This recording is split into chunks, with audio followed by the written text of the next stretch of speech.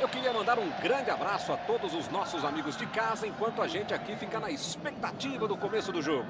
Eu sou Milton Leite e trago aqui para vocês os comentários de a inconfundível voz de Mauro, cabelos ao vento, Betting.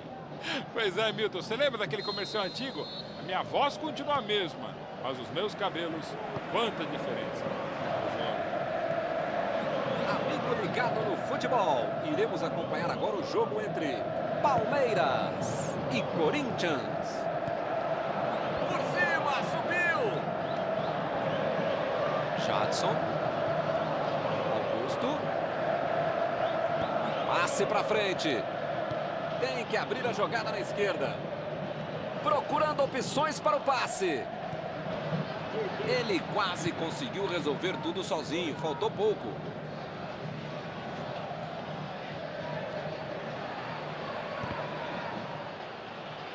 Arremesso lateral.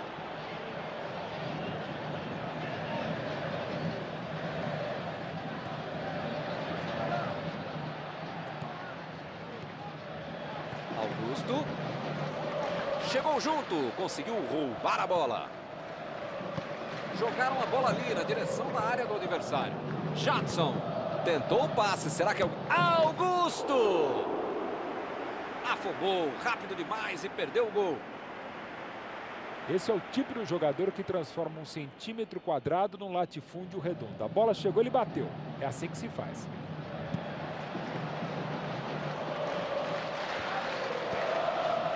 Augusto.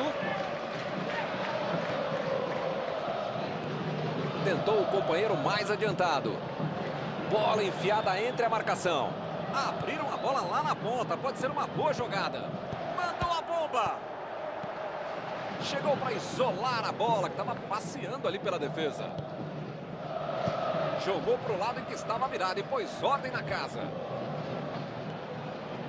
Muita bola rolando, mas por enquanto nada de bola na rede.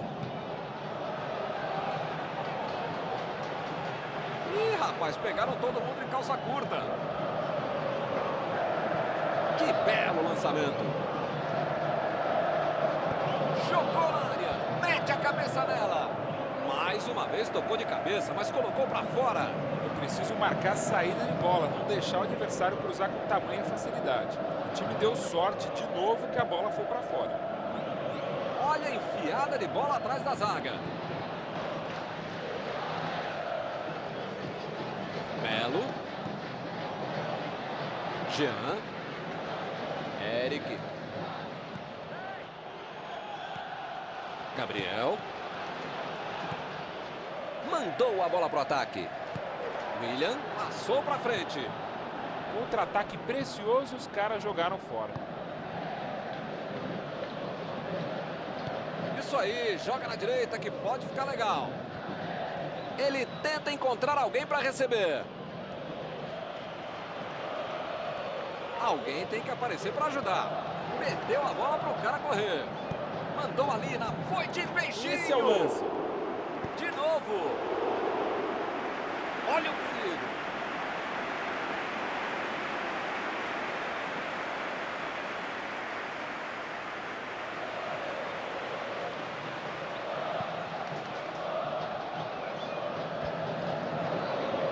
A bola fica ali pela esquerda. Quem é que vai pegar a bola agora?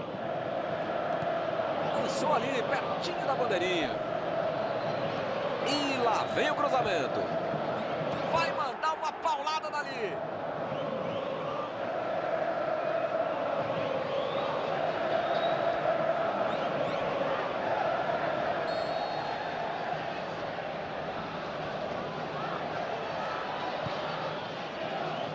Ficou para longe e tirou o perigo dali. Chegou junto, conseguiu roubar a bola. Não há tempo para mais nada, terminada a primeira etapa. Por enquanto, ninguém conseguiu chegar ao gol. 0 a 0.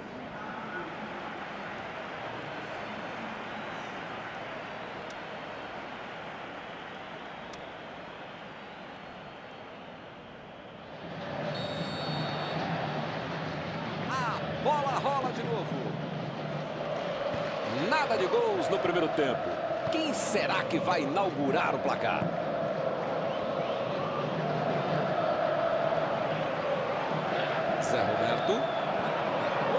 Parecia um chutão, mas saiu o lançamento.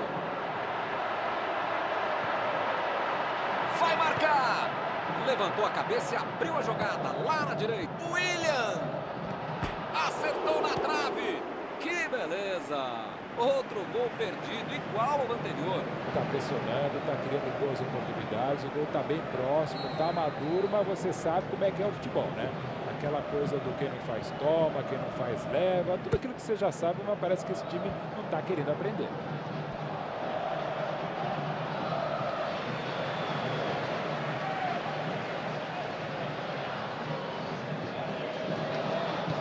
Opa, quem vai pegar essa bola aí? Fagner. Ih, rapaz, parece que todo mundo hoje desaprendeu de jogar bola, hein? Tentou o passe, será que alguém chega? Eles não estão muito dispostos a fazer a linha do impedimento.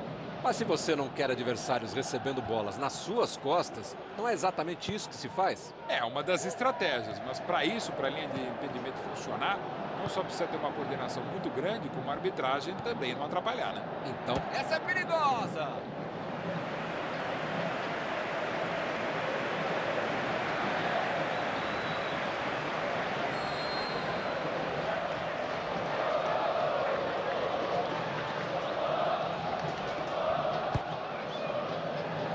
William! A finalização de cabeça, mas errou feio.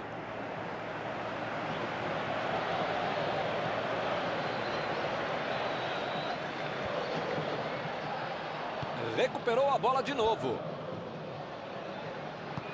Tentou a bola enfiada. Agora o time tem que partir para cima mesmo, né? Perdido por um, por dois, por três, por mil. Acompanhe o relator caríssimo Milton Leite.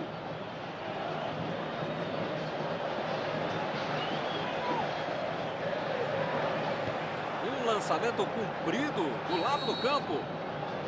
William está impedido. É uma jogada que vale a pena insistir. Dessa vez não deu certo por causa do impedimento. Mas se o jogador conseguir chegar um pouquinho antes da zaga, vai com bola e tudo para dentro do gol.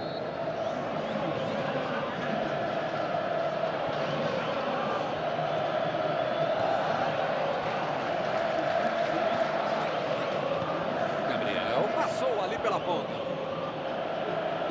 Limpou a área ali atrás.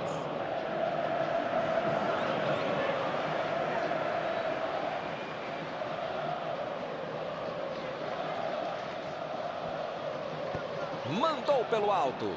Tá em que bomba, hein?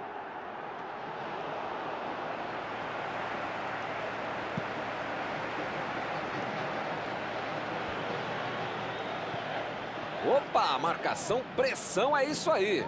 O cara tá sempre lá para finalizar, já era hora de alguém marcar o cara em cima, né? Mas parece que já passou da hora. Agora é com o Eric. Vai sair o chute! O juiz está marcando a falta. Será que ele vai levar cartão? Não, não. O juiz prefere não mostrar o amarelo.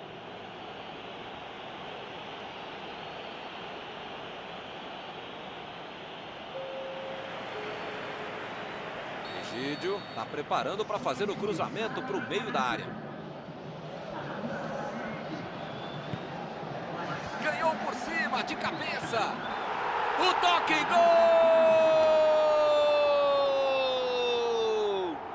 Aí é difícil, né? O time que toma um gol nessa hora não tem nem tempo e nem cabeça para buscar um empate. William foi oportunista e aproveitou a bola largada pelo goleiro. Primeiro mandamento do goleiro. Pode rebater para o meio da área uma bola como essa. Saiu o primeiro zero do placar, 1 a 0. Não dá para relaxar depois de passar na frente. O placar ainda é apertado.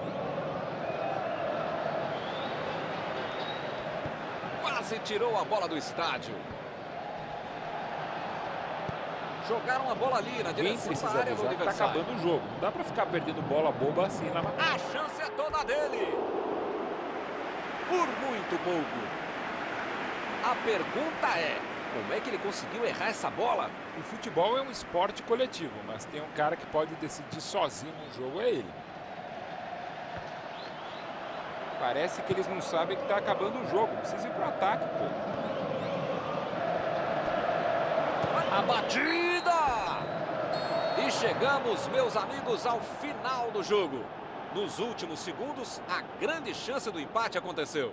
O Palmeiras cumpre o que se esperava dele e consegue, evidentemente, uma importante vitória. Jogando em casa, era fundamental vencer. Após esta partida, alguma coisa que você gostaria de comentar, Mauro? O Palmeiras entrou em campo para vencer desde o início do jogo. O clássico é assim, acaba igualando os desiguais. E foi o que aconteceu nesta grande vitória da equipe.